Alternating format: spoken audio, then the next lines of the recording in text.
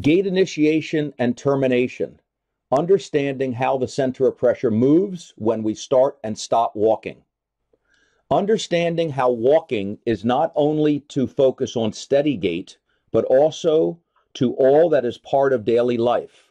Man walks forward, backward, jumps, runs, goes up and down slopes and stairs, crosses obstacles, carries loads. And even before that, we must begin to walk. Once we arrive at a destination, we must be able to stop. We will focus here on two particular phases of the walk that are the gait initiation and termination to understand how the center of pressure and the center of mass normally operate in an asymptomatic subject and thus better understand the influence of the pathology.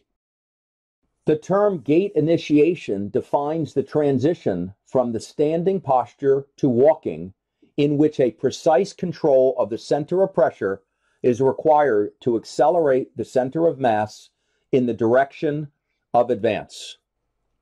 Specifically, it is the very short period between the first mechanical phenomena and the time when the support limb begins its swing phase. This task is so present in our daily life and integrated by the central nervous system that we do not pay attention, yet it is more complicated to achieve than steady speed gait. Indeed, from the perspective of motor control, it is an unsteady transitional period between two stable states, static posture and steady gait, in which postural synergy fades and locomotor synergy begins in place. Regarding the analysis, the initiation is generally divided into two phases anticipatory postural adjustments phase or release phase, and an execution phase or unloading phase. The separation between the two phases occurs when the starting limb enters in swing phase. This video shows the gait initiation. Let's go to the point now with the terminology used later to identify limbs. The starting limb will be the side initiating the movement. In our examples, it will be the right foot.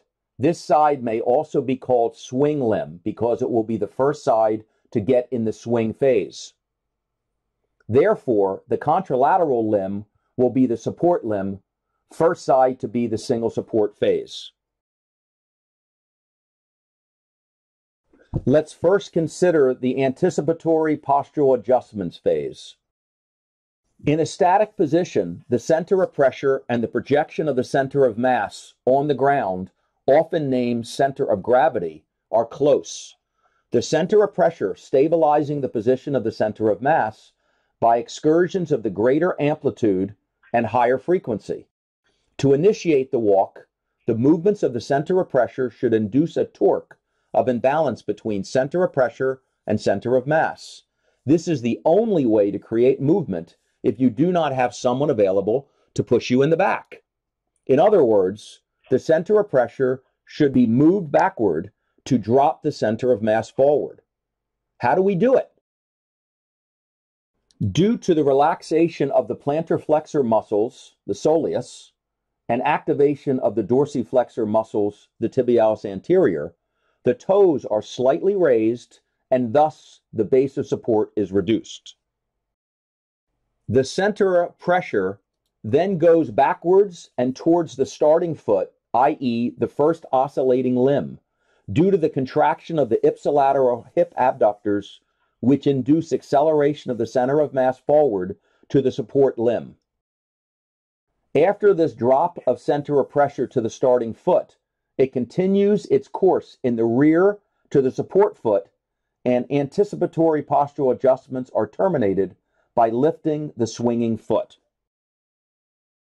Transfer to the support limb is visible here on this graph, representing the mediolateral position of the center of pressure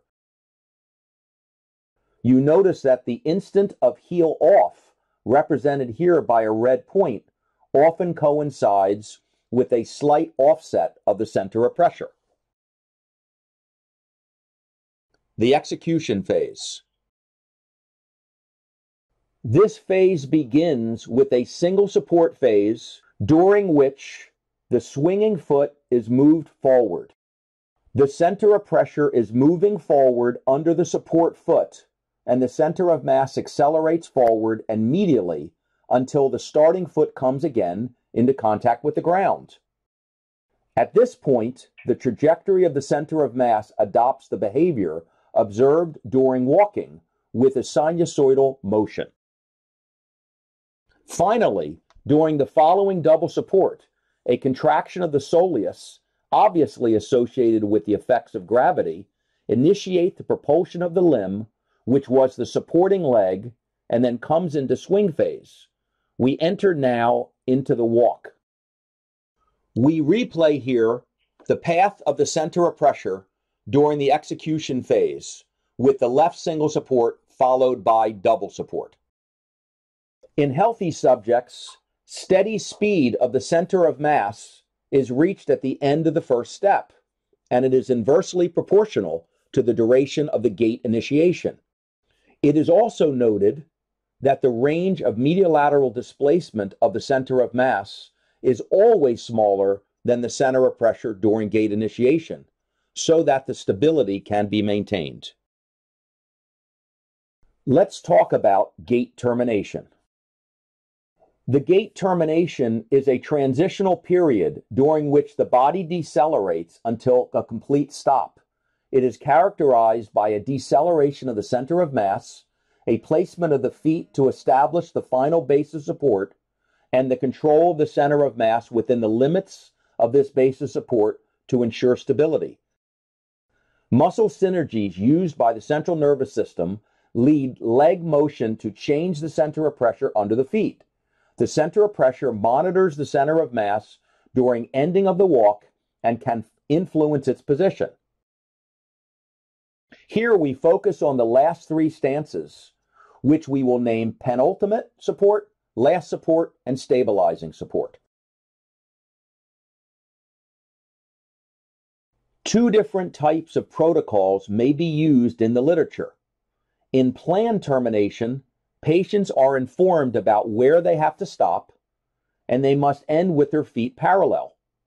In the unplanned condition, the subject has no prior knowledge about where they should stop, and the final position of the feet are not constrained. Gait termination is commonly described and analyzed in three phases braking, transition, and stabilization. The braking phase corresponds to the movement of the center of pressure from the penultimate support to the last support until the penultimate support leaves the ground. The center of pressure therefore moves forwards and laterally on the side of the first leg, which stops, i.e., the last support. This foot placement will enable the center of pressure to move ahead of the center of mass to decelerate it. A step length too short may also affect the termination by limiting the ability to brake the center of mass to the desired location. The transition phase begins then once all the pressure is transferred to the final support, the other limb is in swing phase. The center of pressure reaches its maximum forward position in the middle of single support. This phase reduces the speed of the center of mass moving towards the midline.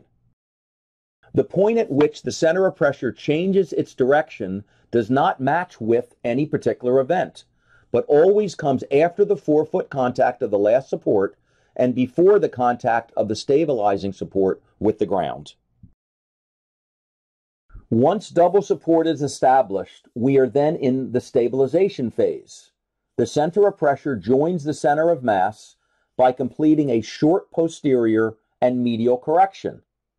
You will notice that the pathway of the center of pressure during gait termination is relatively similar to the gait initiation, however inverted.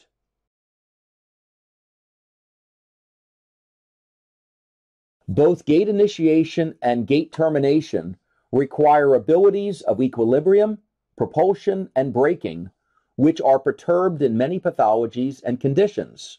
For example, in lower limb amputation, the lack of plantar dorsiflexor requires other strategies to start and stop walking. We will address in detail the influence of pathology on these two phases in a future presentation. In the meantime, you can expand your knowledge with these references.